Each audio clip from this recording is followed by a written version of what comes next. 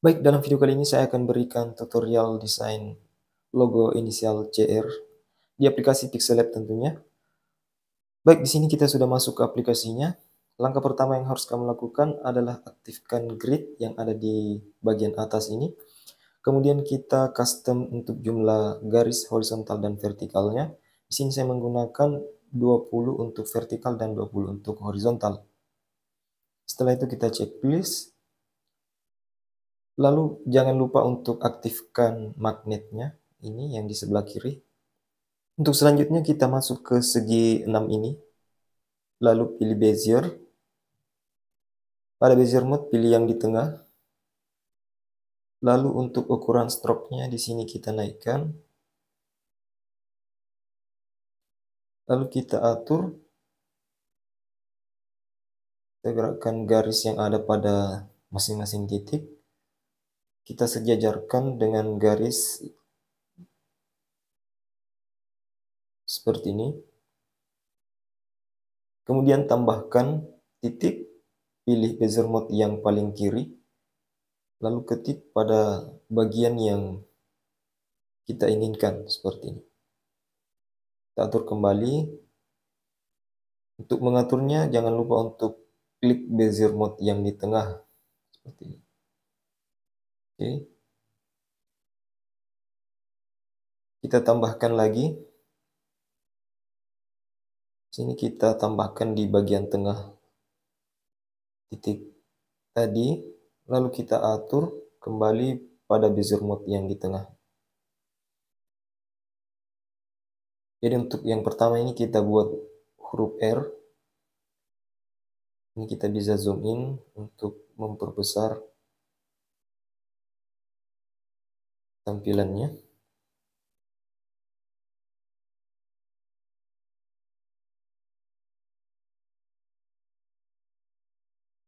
Oke.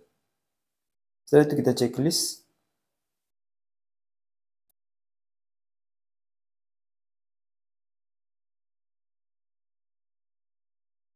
Kita akan tambahkan untuk huruf C-nya. Untuk stroke Pitnya kita samakan dengan yang tadi. Lalu kita atur kembali dan sejajarkan dengan huruf R yang tadi. Ini kita aktifkan lagi untuk magnetnya.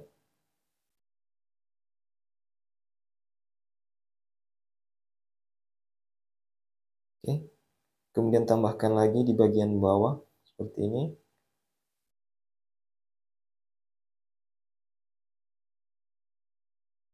Ini tambahkan lagi untuk yang terakhir. Oke. Kita pastikan sejajar. Oke. Sudah jadi, sekarang kita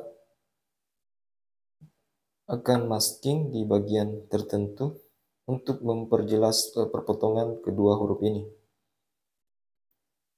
Untuk yang pertama kita ke huruf R terlebih dahulu ya kita klik huruf R-nya dulu, lalu kita ke Mesh, oke.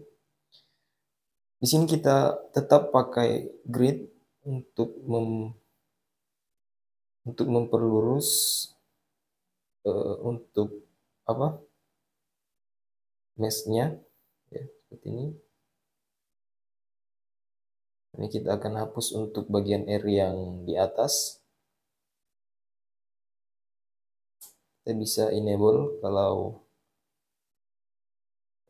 modelnya sudah bagus.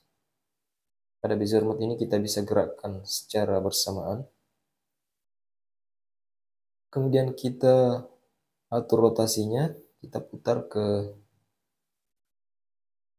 kanan sedikit seperti ini. Ini sekitar apa ya?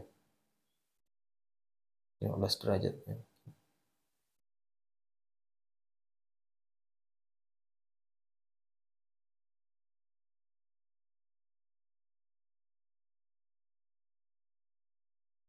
Oke, selanjutnya kita bisa aktifkan kembali untuk huruf C-nya.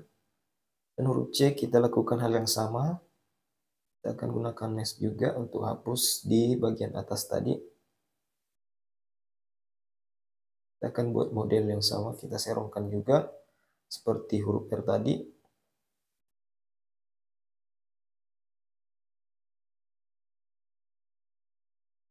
Ke rapi kita aktifkan meshnya, kita enable.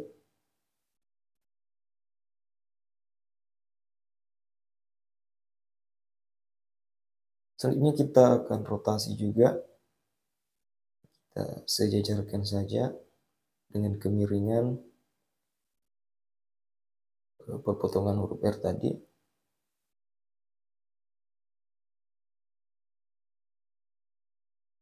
Kita bisa gerakkan lagi.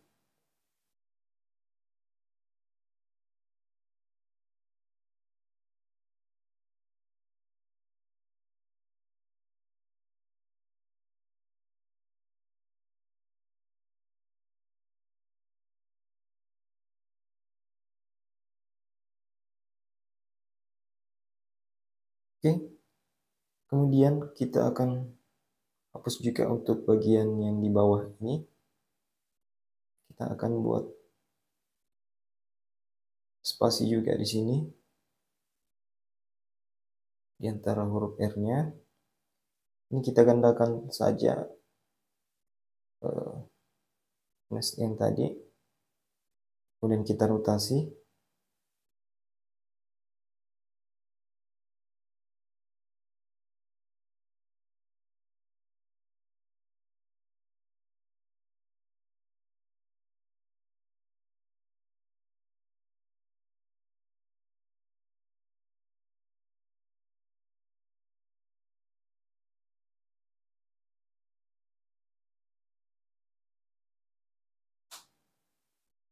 Oke. Selanjutnya kita akan hapus untuk bagian R yang berlebih ini.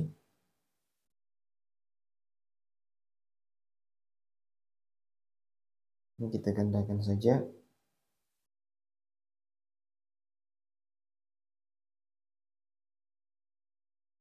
Lalu kita gerakkan ke bawah. Atau kalian juga tidak ingin menghapus bagian ini, tidak apa. Untuk gridnya ini kita setting sejajarkan dengan huruf C.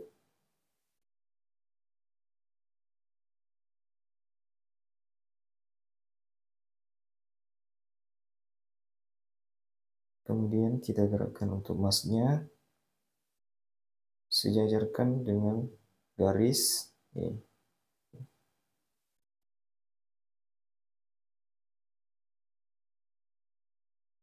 Oke. Ya sudah seperti ini. Ini kita bisa zoom out kembali. Lalu posisikan di tengah. Kita bisa atur gridnya kembali ke posisi normal. Lalu kita tengahkan seperti ini.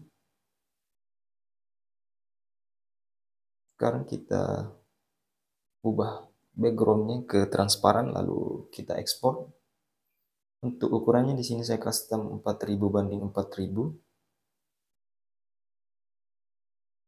Oke. Dan di sini saya akan tunjukkan untuk pemasangan tekstur pada logonya. Ini saya sudah siapkan bahan jika kamu ingin gunakan bahan ini. Silahkan download pada link deskripsi. Jadi seperti ini. Ini kita bisa aktifkan untuk